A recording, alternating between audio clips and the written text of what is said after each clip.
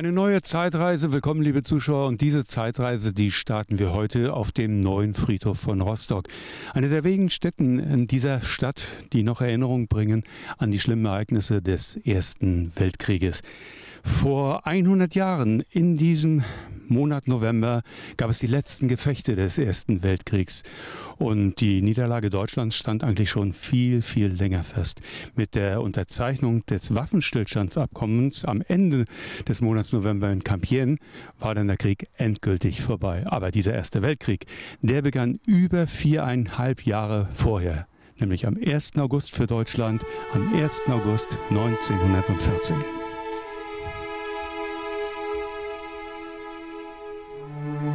Dies mit der Verkündung der allgemeinen Mobilmachung durch Kaiser Wilhelm.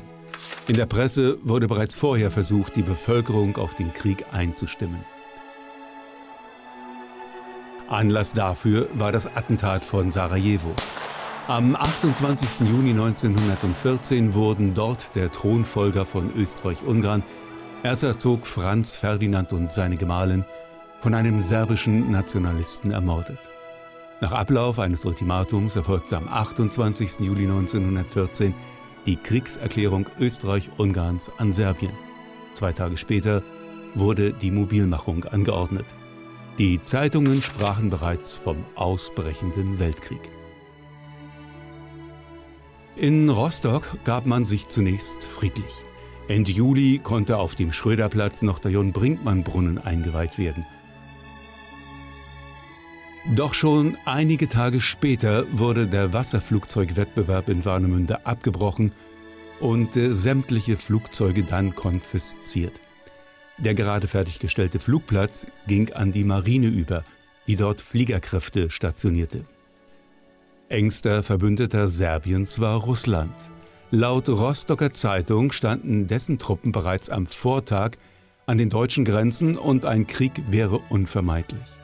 Umgehend erklärte Deutschland, auch als Verbündeter Österreichs, daraufhin am 1. August 1914 Russland den Krieg.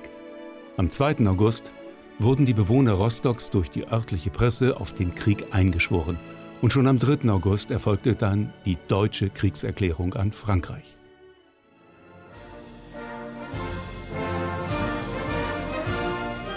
Mit Euphorie wurde auch in Rostock der Eintritt in den Krieg gefeiert. Die lokalen Zeitungen übertrafen sich in den Schilderungen der Begeisterung der Einwohnerschaft. Rostock war Garnisonsstadt. In der Kaserne in der Ulmstraße war das Füsilierregiment Nr. 90, das den Namen Kaiser Wilhelm trug, untergebracht. Unter großer Begeisterung der Bevölkerung rückten die Infanteristen bereits am Morgen des 3. August mit zwei Bataillonen an die Westfront ab. Dies sollte auch das Haupteinsatzgebiet für die Rostocker Truppenteile in diesem Krieg werden. Es waren insgesamt sechs Bataillone mit einer Mannschaftsstärke von jeweils 5500 Mann. Das waren ca. 35.000 Offiziere und Soldaten aus ganz Mecklenburg, die zwischen 1914 und 18 in der Ulmenstraße formiert wurden, um dann von Rostock aus an die Front zu ziehen. Mit großer Freude und einer Volksfeststimmung gleich wurden Soldaten und Freiwillige in der Stadt und auf dem Friedrich-Franz-Bahnhof verabschiedet.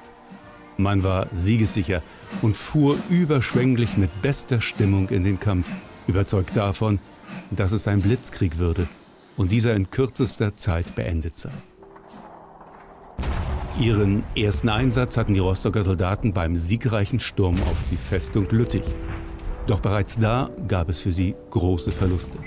Es waren nicht nur einfache Soldaten, die ihr Leben lassen mussten, sondern es traf auch Mitglieder aus dem Offizierslager. Der Tod machte auch nicht Halt vor den Mitgliedern bekannter Rostocker Familien. Ebenfalls wurden die ersten gefallenen Rostocker Soldaten von der Ostfront gemeldet. Zeitgleich erfolgte die Mobilisierung der Reservisten. Zumeist waren es verheiratete Familienväter. Zwei neue Bataillone wurden für die Reserveregimenter aufgestellt. Zu den Freiwilligen gehörten viele Jugendliche, die einem Aufruf des deutschen Kaisers folgten. Auch in Mecklenburg war die Kriegspropaganda groß. Junge Leute wollten es den Söhnen des Landes gleichtun und gründeten bereits im ersten Kriegsjahr in fast allen Städten und Ortschaften Jugendtruppen, um sich einer militärischen Vorbereitung für den Kriegsdienst zu unterziehen.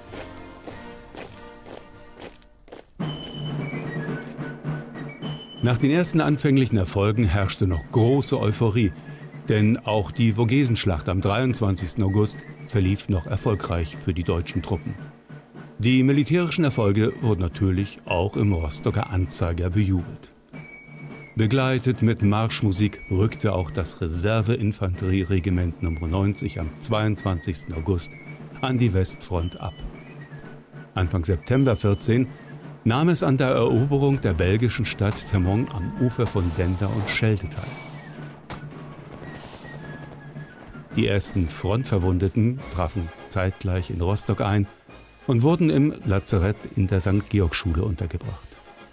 Rostocker Betriebe wie die Neptunwerft waren bereits auf Rüstungsproduktion umgestellt.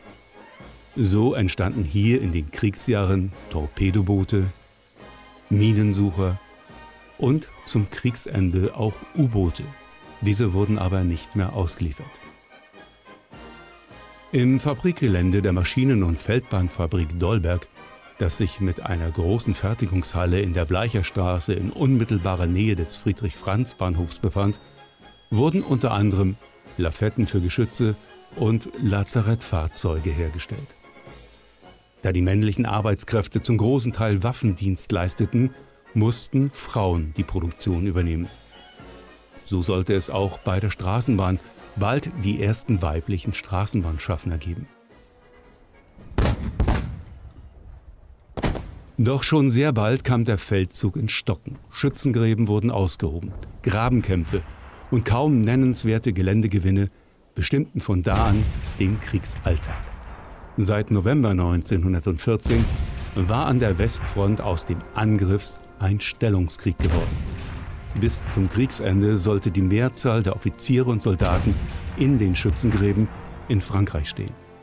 Bereits Anfang 1915 war klar, der Schlieffenplan eines Blitzkrieges war gescheitert. Viele Soldaten gerieten in Gefangenschaft.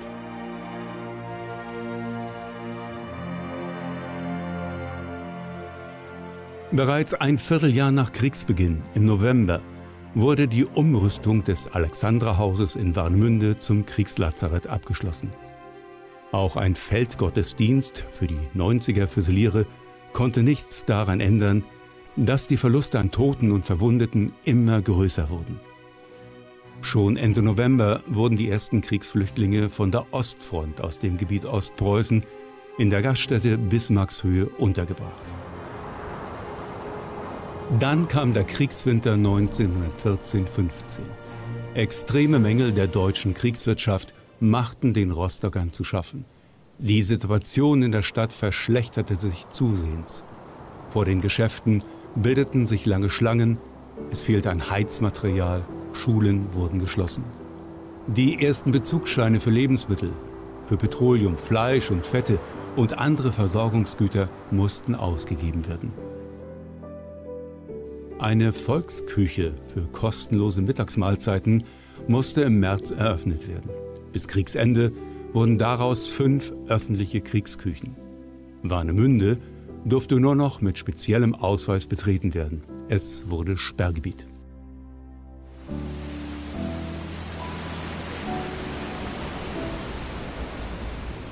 Deutschland erklärte am 4. Februar 1915 die Nordsee um die britischen Inseln zur Kriegszone. Der U-Boot-Krieg begann. Spätestens seit dem Untergang der englischen Lusitania hagelte es Proteste. Das Schiff war das Aushängeschild der britischen Handelsflotte und wurde am 7. Mai vom deutschen U-Boot U-20 versenkt. Der internationale Protest richtete sich vor allem gegen den Tod von 1200 Passagieren des Schiffes. Für Rostock und Warnemünde wandelte sich nun das Geschehen im Hafen und auf See. Nicht mehr Frachtdampfer, sondern Kriegsschiffe wie Minensuchboote und U-Boote bestimmten hier das Geschehen. Zahlreiche Schiffe gingen verloren. Im Juni und im August sanken die ersten Rostocker Frachter.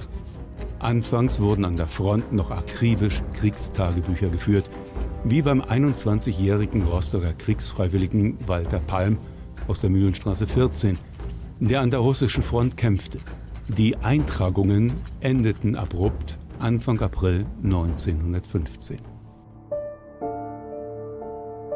In jenem Jahr war die Unterstützung für den Krieg bei der Rostocker Zivilbevölkerung noch groß. Im September startete die Aktion Eiserner Greif. Durch eingeschlagene Nägel entstand das Rostocker Wappentier, das von der Opferbereitschaft der Rostocker zeugte.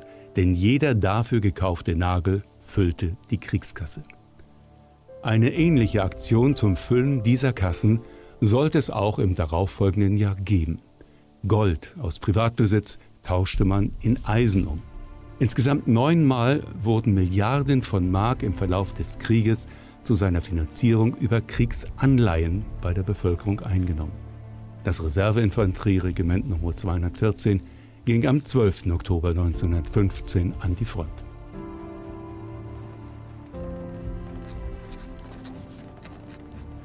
Die Nachrichten von dort waren alles andere als glücklich. Trotz der mehr als 600 verhängten Postsperren war die Feldpost die einzige Möglichkeit, mit den Angehörigen und Freunden in Verbindung zu bleiben und somit engen Kontakt mit der Heimat zu halten. So erfuhr man hier immer häufiger von gefallenen und verwundeten Rostocker Soldaten.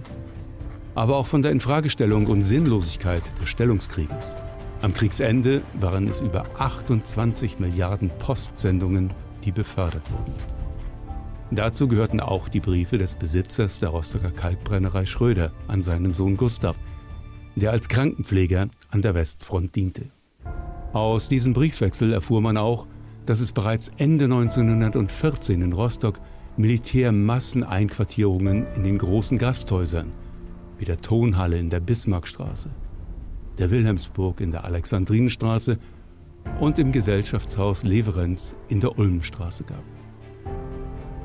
Es war der zum Roten Kreuz gehörende Marienfrauenverein, der nicht nur die Lazarette im Friedhofsweg 11 und ab November auch in der Augustenschule unterhielt, sondern auch sogenannte Liebesgaben für die kämpfenden Mecklenburger Truppen wie Weihnachtspakete verschickte. Über das Rote Kreuz konnte auch vielen Kriegsgefangenen geholfen werden. Zur Hebung der Moral in der Bevölkerung wurde zum Jahresende das zwischenzeitlich geschlossene Stadttheater wieder eröffnet.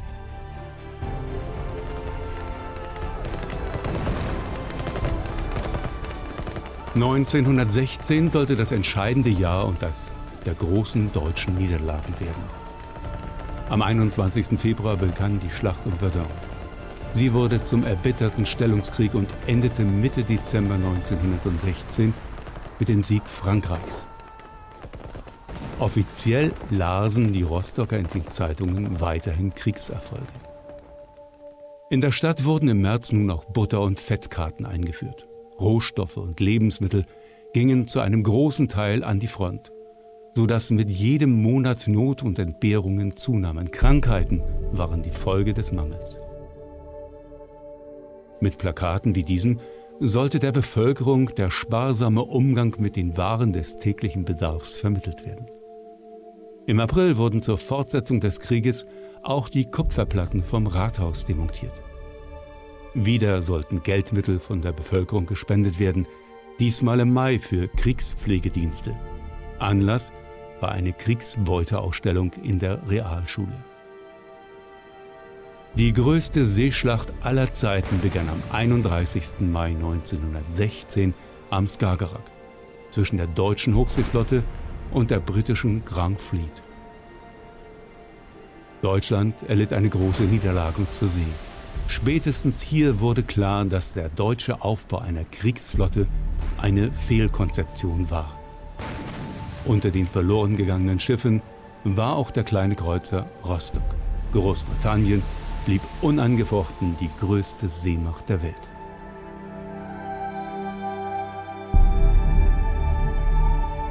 Alle vier Rostocker Militärlazarette waren im Juni voll belegt. Im Monat darauf folgte die Rationierung von Kartoffeln und die Einführung von Eierkarten. Das hieß pro Person ein Ei pro Woche. Im September wurden Fahrradbereifungen von Privatpersonen beschlagnahmt und der Armee zur Verfügung gestellt.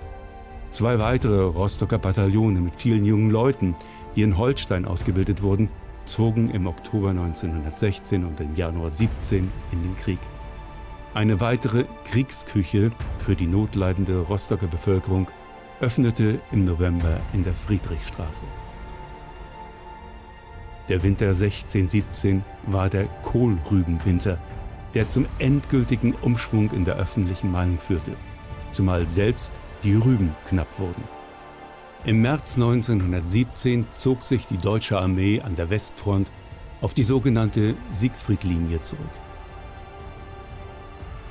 Durch einen Besuch des Herzogs Friedrich Franz IV. bei seiner Truppe wurde die Stimmung sicherlich auch nicht mehr bedeutend verbessert.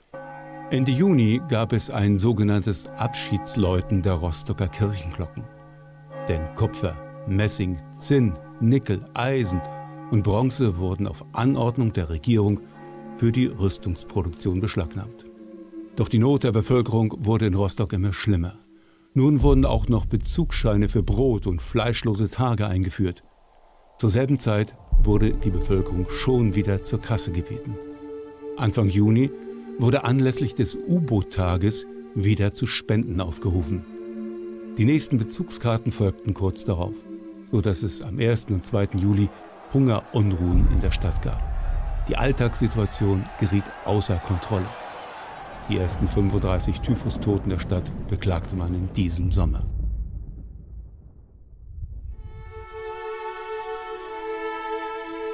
Frontnachrichten und die vielen Todesanzeigen in den Zeitungen demoralisierten und schwächten die leidende Bevölkerung zusätzlich.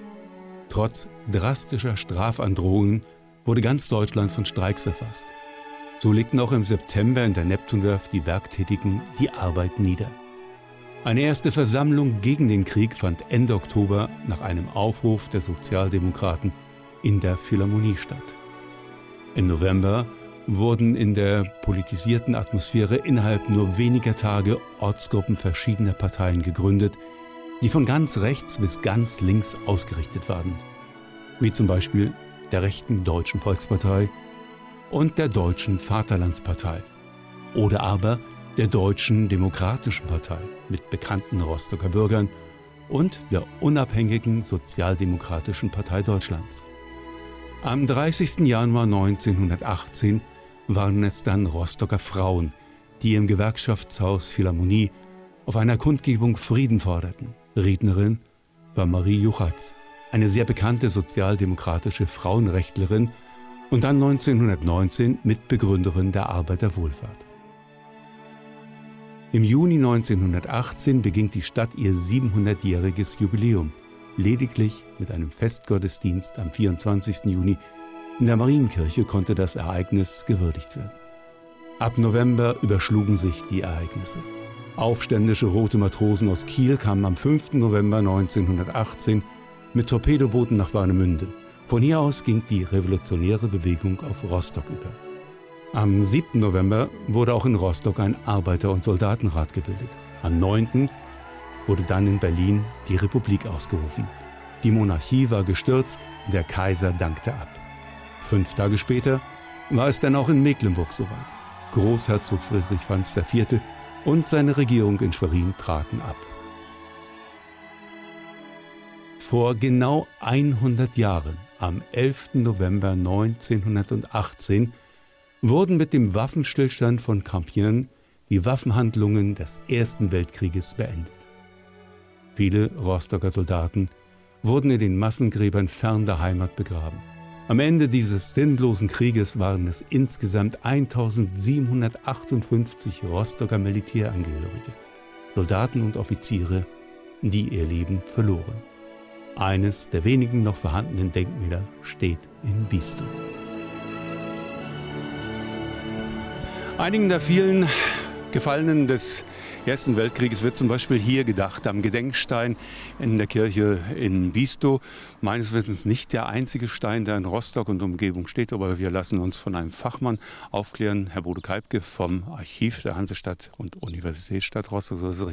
Herr Kalbke, ja, wie sieht es aus mit den Gedenksteinen für den Ersten Weltkrieg? Ja, in Rostock muss man, wenn man sich auf die Suche macht, schon etwas genauer hingucken. Am einfachsten ist es noch in den ehemaligen Dörfern am Stadtrand, wie beispielsweise hier in Bisto In Teutenwinkel, in Lichtenhagendorf beispielsweise haben wir solche Gedenksteine, die die Zeiten überdauert haben.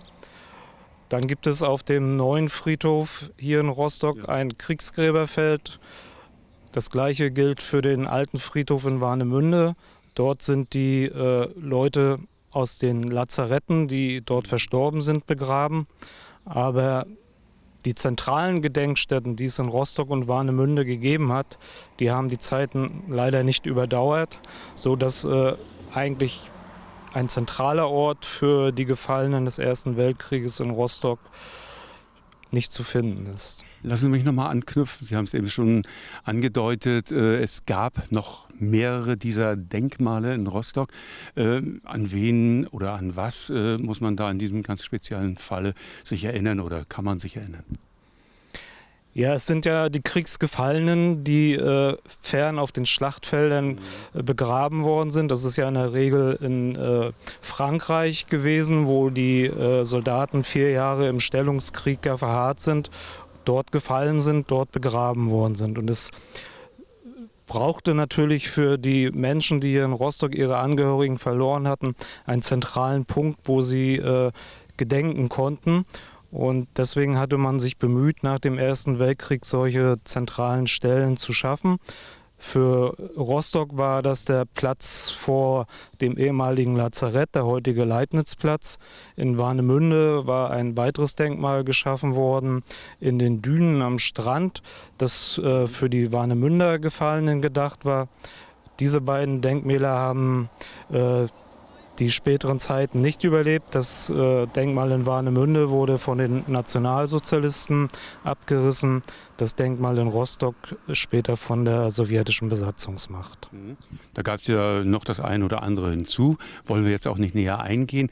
Aber interessant ist es ja vielleicht doch, dass immer dann die folgende Politikergeneration mit den Denkmälern der Vergangenheit, ich sag mal, äh, anders umgegangen ist, als es eigentlich gedacht war. Ja, Denkmäler werden ja bewusst errichtet, um äh, bestimmte Ideen auch zu befördern, zu unterstützen. Nach dem Ersten Weltkrieg waren es ja vor allem Kriegervereine, die die Initiative ergriffen haben, um an ihre gefallenen Kameraden zu gedenken. Und für sie war die Blickrichtung eigentlich, man wollte den Heldentod, den die Soldaten gestorben sind, an diesen Heldentod wollte man erinnern. Mhm. Heute, wenn man solche äh, Denkmäler betrachtet, die Daten darauf liest, dann denkt man, die armen Menschen, die armen Männer, sie sind gefallen, sie sind um ihr Leben betrogen worden für eine Idee, die vielleicht falsch war, die wir heute so nicht mehr vertreten würden. Es ist also immer die Blickrichtung äh, der jeweiligen Generation, die vor dem Denkmal steht und die sich dieses Denkmal aneignen muss, mit Inhalt äh, füllen muss. Vielleicht abschließend noch die Frage zu einem Denkmal, welches nicht das kleinste war und da auch noch Reste vorhanden sind. Marienkirche, das Stichwort. Ja, in der Marienkirche kann man heute eigentlich äh, noch die Reste eines sehr beeindruckenden äh, Denkmals begutachten. Und zwar ist dort im Jahre 1922 von äh, Walter Rammelt äh, eine Gedenkstätte geschaffen worden für die Mitglieder der Mariengemeinde.